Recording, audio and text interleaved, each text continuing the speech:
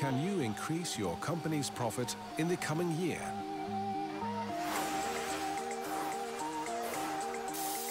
Product and technology innovation are not enough for business success. Look at Amazon, Ryanair, or Google. What makes a difference today is having a profitable business model. This Business X series is the world's first online course on business model innovation. And it's the first that is specifically made for you, a small or medium-sized business owner. You don't need an academic degree. What you need is the drive to improve your business or the dream to start a new business. What can you expect? Inspiring examples on how entrepreneurs changed their business model. Practical tools on how to design a new or improve your existing business model based on research, but so practical that anyone can use them. A structured way to communicate your business model ideas. And instructors that engage with businesses like yours every day. We believe in immediate value. In this X series, from day one, you'll be able to improve your own business from the start. If you still think business model innovation cannot increase your profit, I challenge you to follow this course.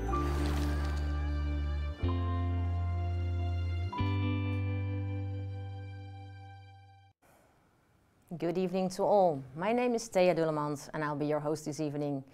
In this second webinar, we'll be discussing what the steps are to design a successful business model and what the critical success factors are. These critical success factors will help you reflect on which part of your business model are working for you already and which ones could be improved. Step by step, our experts will take you through this process. We will start by discussing the TAP case of Bauke Nedersticht present with us here in the studio. Before I go over to introducing our guests and experts, please note that we will have two Q&A sessions this time. You can start sending in your comments or questions from now on. You don't have to wait till these Q&As are introduced. You can do so by using the chat function, the little balloon at the left side of your screen, as figured behind me. Click once and the screen will open. Then type in your question and press send. That's it. We've geared up colleagues backstage who will answer them either directly or bring them in to one of the live Q&As. So, Bauke, welcome at our table. Good to have you here. Yeah, good to be here. Thank you. Bauke Nedersticht studied systems engineering, policy analytics and management at Delft University of Technology. His graduation thesis researched the design of digital multi-sided platforms. Currently, he's responsible for development and insights at TAP. Facing him, our business makeovers expert, Mark de Reuver and Timber Haaker, both from the TU Delft. You might know them maybe also from our online MOOC courses. Going over to Bauke. Bauke, can you please explain us about TAP and your product, please? Yes, of course. Um, so at TAP, we want to bring the digital revolution to the hospitality. Uh, nowadays, uh, analytics uh, is an ever more important part for doing business all, all around the world. Um, companies use it to increase their profits and decrease their costs uh, in all aspects of the value chain. However, this is not the case for bars and restaurants. Uh, in the hospitality industry, mm -hmm. they are doing things the way they've been doing for years and years. And one of the main reasons for this is the fact that there are a lot of different cash registers or point of sale systems uh, in the hospitality industry. So these are the uh, computers that you often see in bars and restaurants that they use for doing the transactions and keeping track of all the payments. However, uh, for example, in the Dutch market alone, there are over 400 different providers of these systems, meaning that it's very hard to come up with an effective um, solution that can uh, do all kinds of analytics, keep track of sales, um, and help owners to, to do business in a better way. Mm -hmm. um, and TAP wants to help them to step into the 21st century uh, by offering them uh, an analytics platform that can help them to get better insight in their business. And if they choose to anonymously share their data, uh, we can actually also create, create all kinds of market insights uh, that can, for example, help to spot trends in the market or do all kinds of competitive competitor analysis. okay, so concluding, you offer a service which can give insight mostly to sales processes. Yeah, so yeah. we can help help bars and restaurant owners get excellent insights into their sales. You brought something with you. What's yeah. that? So uh, this is the device that we developed uh, that enables us to connect to any existing uh, cash register. So mm -hmm. um, it's a pretty cheap device that uh, that you can just plug in to the existing um, yeah computer that you will often see in the bar and restaurant, with that um, in a much cheaper way, um, bring it into the digital um, age, so to say, because uh, normally these point of sale systems they're very expensive. They can be up to five or ten thousand euros each, uh, whereas this is much cheaper. So it enables uh, bar and restaurant owners to um, yeah get all kinds of advanced insights. In a cheap manner. In a cheap way, yeah. Okay, thank you. Clear? Um, audience, yes. Uh, I would like to say that within a few minutes from now, our first Q&A will start. So if you have questions for Bauke or one of my colleagues, don't hesitate asking them as explained before via the, the little balloon. So for each company, there is not one single business model solution. Often multiple business models, models can work. For each startup or existing companies, it's worthwhile to investigate a few of them. In the TAP case, we have asked Mark and Timber here to each design a business model for Bauke's company. Timber, would you like to start, please? Sure, thank you. Um, we use the, the STOF model, one of the tools from the, the Business Makeover platform to describe the business model in a very structured uh, way. And STOF is an acronym that stands for Service, Technology, Organization and Finance. And mm -hmm. we'll briefly describe the business models from these four perspectives. So in the service domain, you write down what is the customer and what is the value proposition for that customer. And clearly the, the customer here is the restaurant, restaurant owner. And maybe this is the owner of not just one restaurant, but maybe the person owns uh, a number of restaurants. And then the value proposition is insights in the, the sales, especially if you have a number of restaurants. That, that's uh, becoming quite interesting because it's much, much more difficult to track what's going on in a number of restaurants than in just one restaurant, uh, I think. So there's the service domain. And then if you go on to the technology domain, uh, it's about a digital innovation. We can describe what that looks like. And Bauke already showed his um, um, device. And the device is, is capable of catching the, the data, the sales data from the point of sales, doing some analytics and providing the, the owner with uh, relevant information about, uh, about their sales. And if you move over to the organization domain, where you sort of describe what are the parties involved, and if you keep it a bit simple, then of course there's the restaurant owner and there's TAP, the company of, uh, of Bauke. Uh, TAP provides the insights in the sales and they get of course the raw data from the, uh, from the restaurant uh, itself. And if you think about the finance perspective, then it could be fairly straightforward. It could be the restaurant owner that pays a fee, maybe a monthly fee, for these uh, insights that he or she can use to, to improve uh, uh, service delivery, for example. So altogether, uh, the STOF model provides the overview from four perspectives on the business model, as shown here in the um, in the in the slide. But of course, there are more business models to be developed for uh, Bauke's case. Okay, thank you, Timber. Mark, you've made an alternative business model solution. Yeah. Can you present it to us, please? Yeah, sure.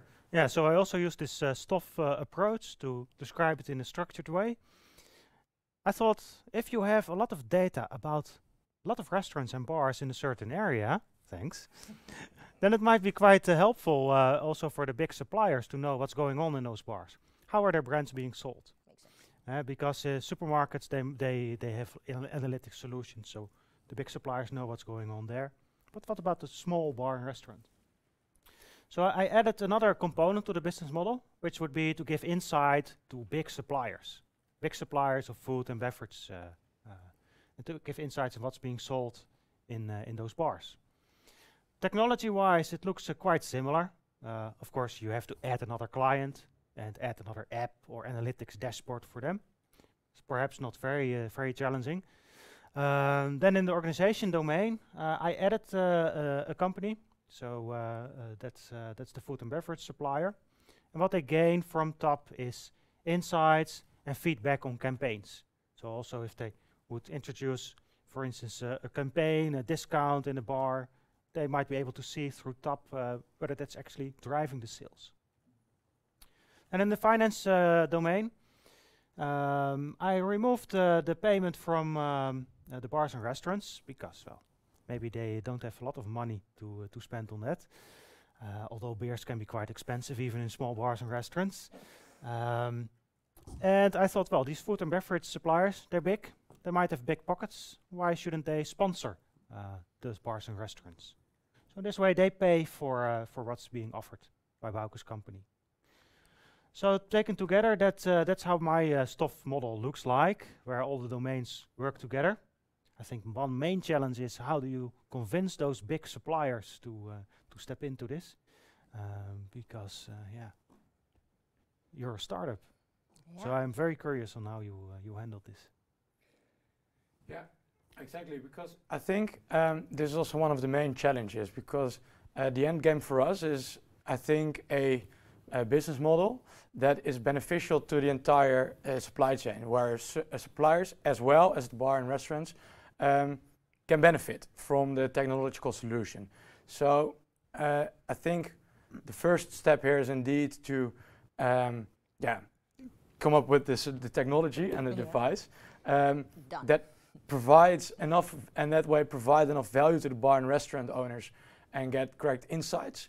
Um, and then, you know, come up with um, a plan maybe to um, also attract the large corporate suppliers because a big challenge here is uh, if you want to do competitive analysis, for example, or trend analysis in the market, uh, it doesn't work if you only have 10 bar restaurants. Yeah. You need to grow. So uh, for the large suppliers who maybe do business globally, um, they're not interested in just a small city. They want to know about the entire country. So, okay. Um, Mark, we have quite some business owners joining us tonight.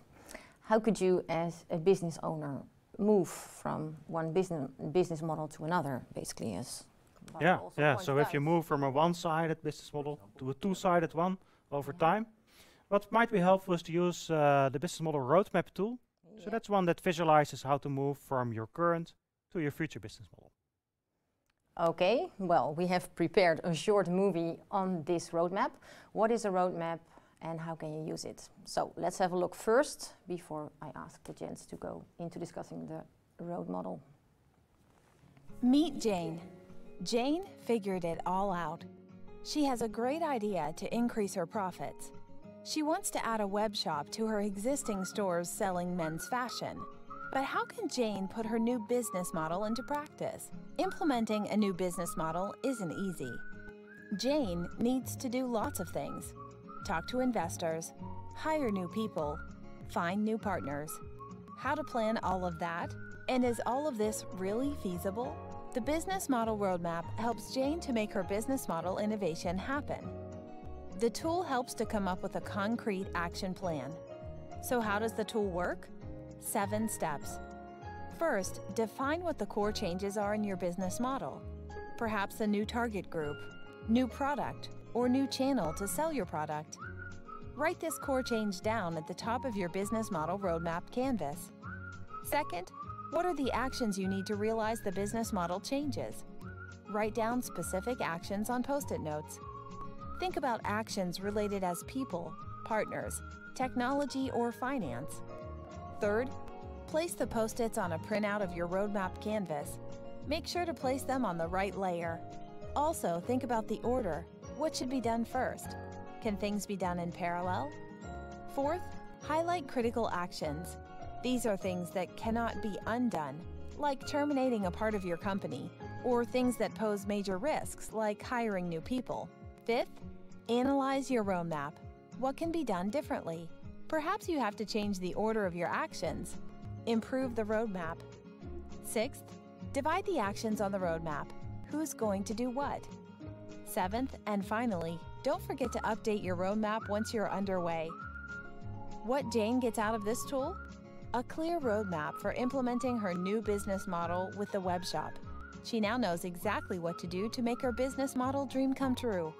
And she knows now if it's feasible. So, are you puzzled like Jane too? Wondering what to do to implement your business model? Go to businessmakeover.eu and make your business model innovation happen. Okay, having this all in mind, Mark, can you now maybe get back to how to move from one? Yeah, sure. situation. Yeah, so Yeah. uh, so I plotted uh, how to move from the one-sided to the single-sided one. Perhaps you have to start because you're a startup with some initial investments or somehow raise some capital. that might be first step. And then to build, of course, the, the technology that you have and the analytics apps. I would start first for the bars and restaurants because, as you said, the big suppliers need to have them first. Then provide them to the bars and restaurants uh, in a local area, for instance in Amsterdam, where your company is based. Acquire some market knowledge. And when you have a critical mass of not just 10, but 100 bars, you can go to the next uh, round. Perhaps some in other investments. And then start to build the app, but then for the, uh, for the big suppliers. And if wi- once you have that app, of course, you add the big suppliers as partners, and uh, that uh, then expand the app to the bars and restaurants, perhaps of the whole of the Netherlands. So very simple. Put this would be steps to uh, to come from a one-sided to a single-sided business model. So, expanding to the whole of the Netherlands or maybe Europe or Yeah, World Conquer like a great afterwards. challenge, I think. uh, Put like this, it might be quite simple. Okay, so now we go over to our first Q&A session. My colleague Guido Rekers, present at our table, student at the TU Delft, has selected a few questions. Mhm. Guido, Yes. Um, so the first question was from someone named Roy Jane, and he wants to develop a business model for his retail grocery store. And he was mostly wondering about uh, the partners that you can have as a grocery store and what your resources are.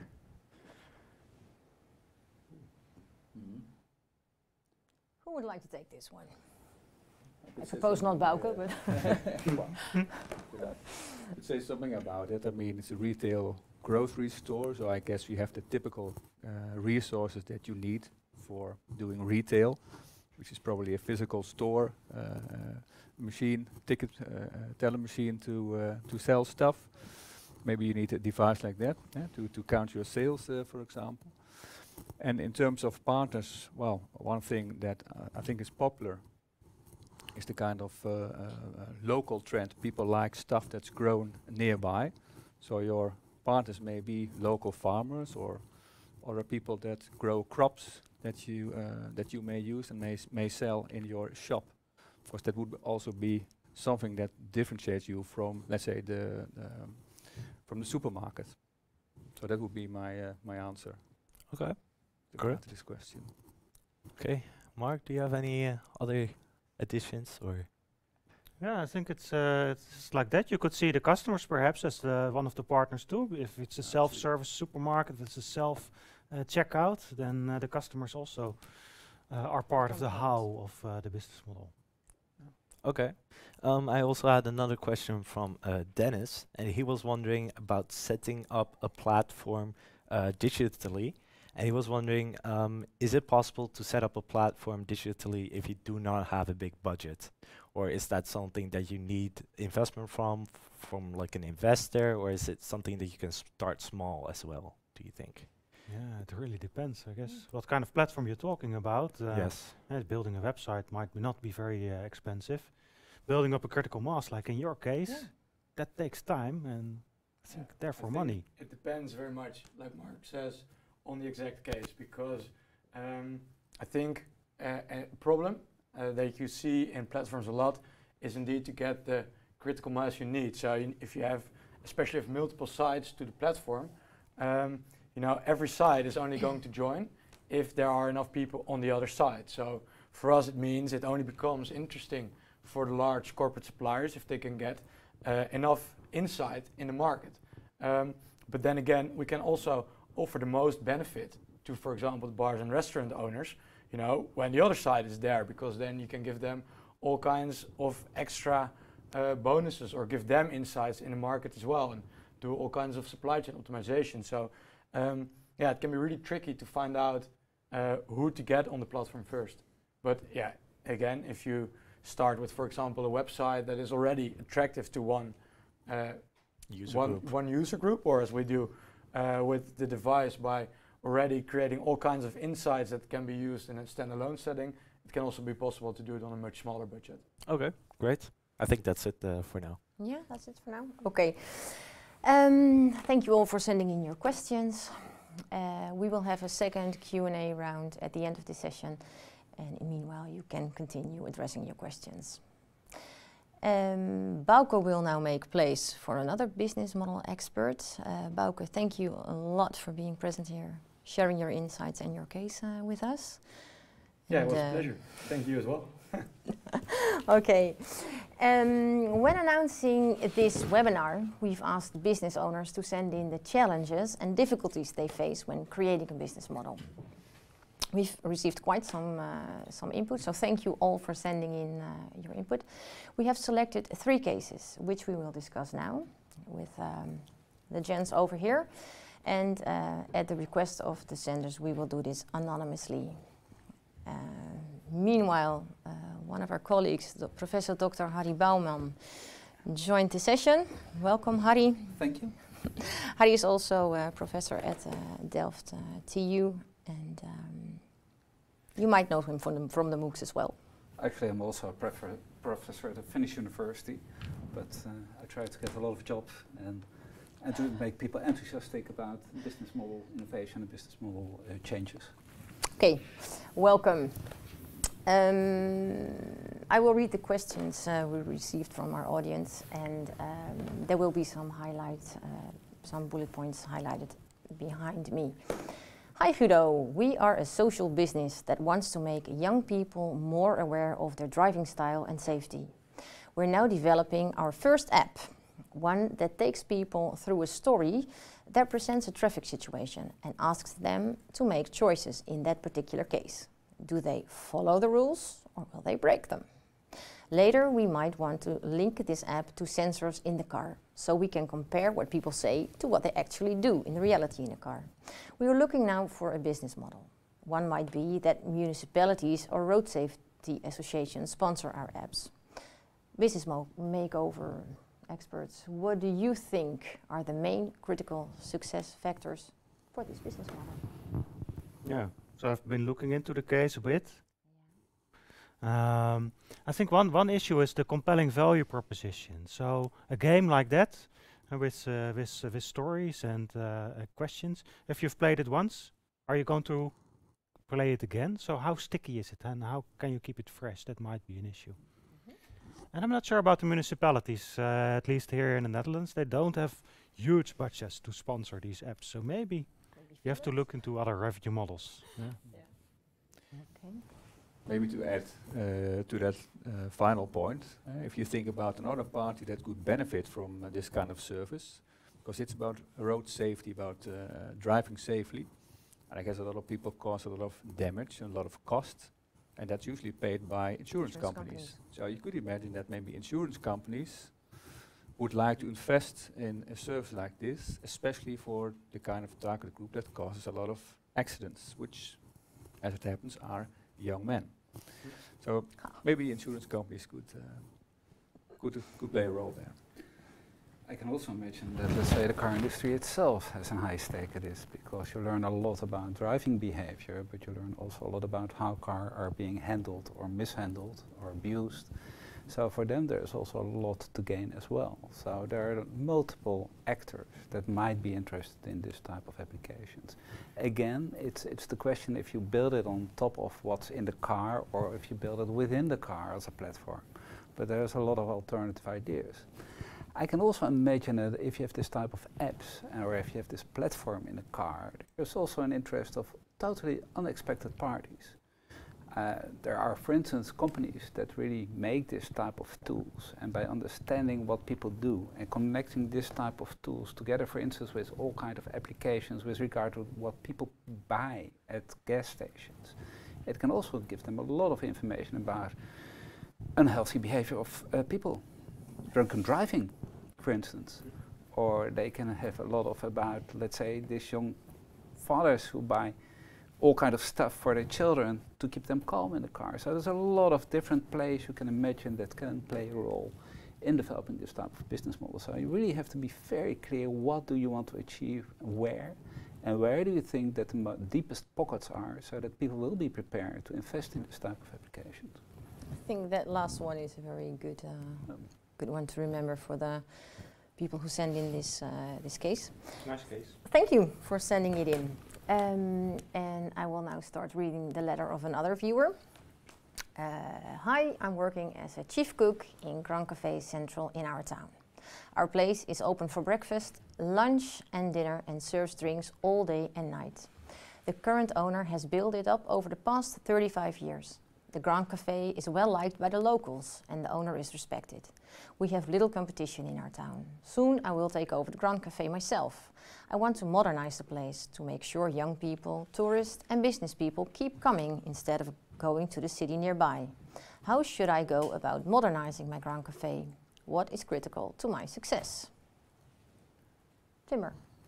Can I start with you? Sure, yeah, yeah. I think it's an interesting uh, question. Uh, it's also, if you talk about critical su success factors, very much about targeting and compelling value proposition. Mm -hmm.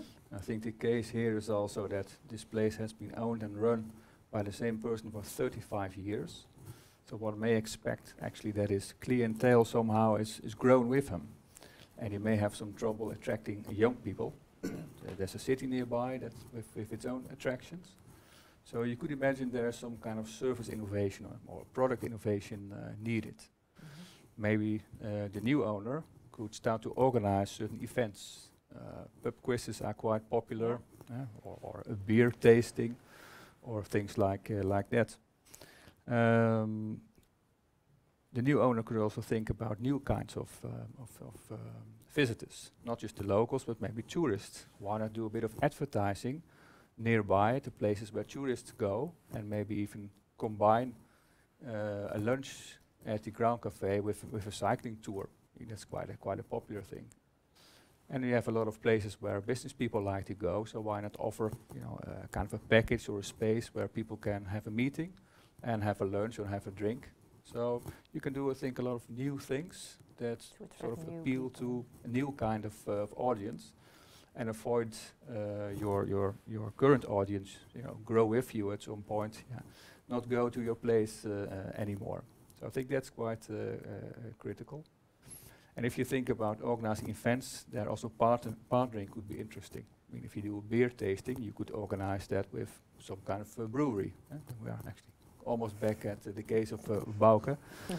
Or with other parties that have an interest in, you know, presenting themselves and being visible at a Uh, at a place like, like the Grand Cafe. So these are the things I, I could think of. You can also think about channels, using social media, for instance, for promoting your business, even if you want to attract a different type of customer group. Mostly so younger ones. Yeah. Yep. And also optimizing the usage of your space. If you make clear that there are, let's say, a lot of free tables or the time to reserve tables is something that you can manage easily, you can increase the let's say, the, the, rate of return on the tables, for instance. So there's a lot of different opportunities you can look into this type of thing. Yeah. Sounds to me as a good food for thought for this uh, Grand Café.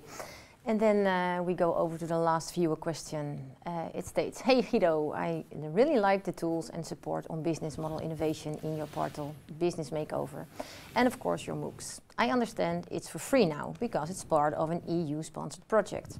But what about after the project? How can you create a sustainable business model for a self-service tooling platform like Business Makeover? So, interesting question, I guess. Who would like to take one, this one up?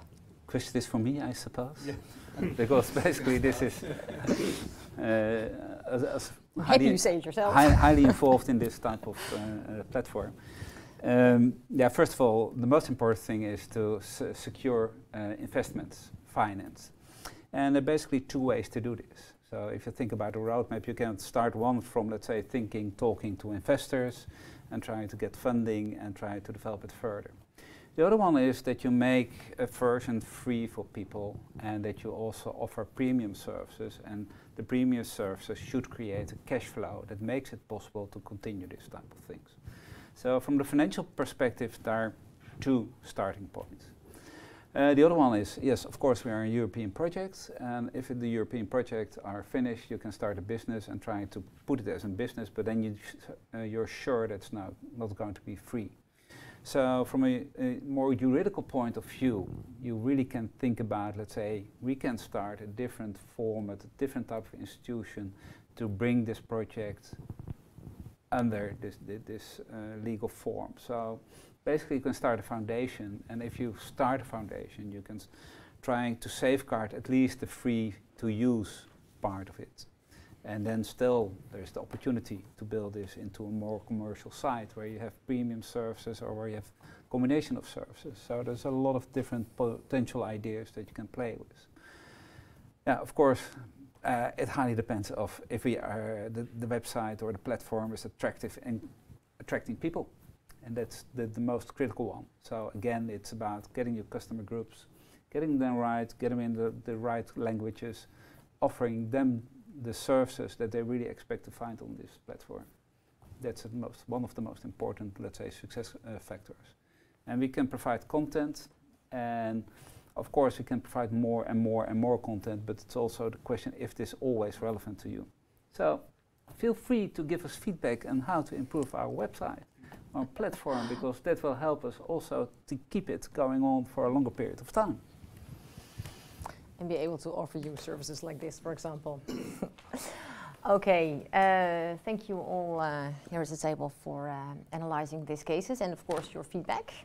We will now go over to our second Q&A round. Uh, viewers at home, you can still, even though, send in your questions and comments. And uh, Guido, Yes. Can you please start with the first question? Yes, I found another question from uh, Jack. C quite an interesting uh, question. He has a local uh, physical store in uh, sport goods. Mm -hmm. So he sells clothes for football jerseys, soccer balls, uh, hockey sticks, and that kind of stuff. And he was wondering, um, there's a big chain coming. It's a Dutch chain uh, called Sports 2000. Yeah. And he's wondering, how should I compete with such a chain? So they're less specialized, but they have a bigger like item range. So how can he compete with such a, a larger chain while he's a specialized retailer? Yeah. Challenging. I, I, I would I would like to think about uh, one of the cases that we have been studying in Finland. Uh, basically, in Finland, you have the similar type of situation from time to time.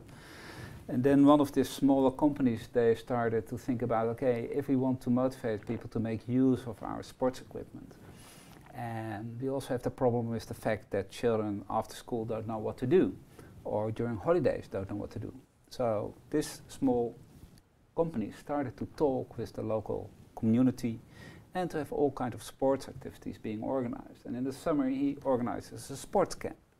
This sport camp is basically for the local community, but he ties people into his company. So he talks to them and he really has the contacts within the municipality, within the sporting clubs, schools, and he really builds an ecosystem around his company, attracting other people, and to take care that he also provides an environment in which people can play sports. And then, of course, if people play sports, they buy goods, and if they buy goods, they come to your business.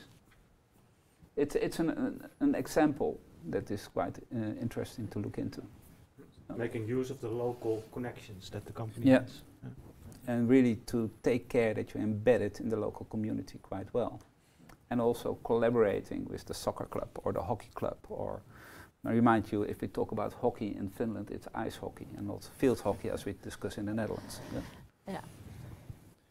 I think I like this idea of tying into the local community yeah. and have this connection with sports clubs. Yeah. So I think it's also very much about providing additional services on top of the, let's say, the, the stuff that you can buy in the, in the store. I mean, additional service can also be, okay, if you want a hockey stick, field hockey mm for example, you take five home and you try them out for one or two days, and then you bring four back and you buy one of them, yeah. something like that. Add some extra service. Yes, some extra service, okay. these, these kind of things. Yeah. yeah. What if you get a damaged stick? yes, but if it's if it's very local, mm. you know, you can create the kind of trust that you need there. I think. Yeah. Mm. Okay, well, Okay, thanks, yeah. Jack, for uh, this question. Yeah, I hope great uh, the answers. answers uh, suited you. Um, another question was uh, from Jessica, and she was wondering. Um, she has a web shop, Mhm. um, and she sells uh, items for uh, pets. But she was wondering. Um, there's a lot of competition online, and she finds it di- difficult to uh, get enough visitors on her website. So she was wondering, should I? Sh- she tried using social media to improve uh, her customers coming to the website but she said that didn't really have an effect. So she was wondering, what else can I do to get more visitors to my website?